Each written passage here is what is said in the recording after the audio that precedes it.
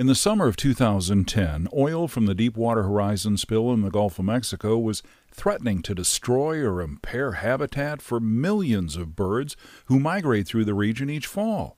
NRCS worked with farmers and ranchers to ensure these migratory birds would have alternative places to feed and rest out of harm's way. From the Atlantic Flyway, the Mississippi Valley, and the Central Plains en route to winter quarters in the West Indies, Central and South America. NRCS and partners work with producers to manage a portion of their land to meet the needs of different species, including shorebirds and waterfowl. More than 470,000 acres of natural wetlands, rice fields, crayfish ponds, and other agricultural lands were modified to provide clean habitat for these birds.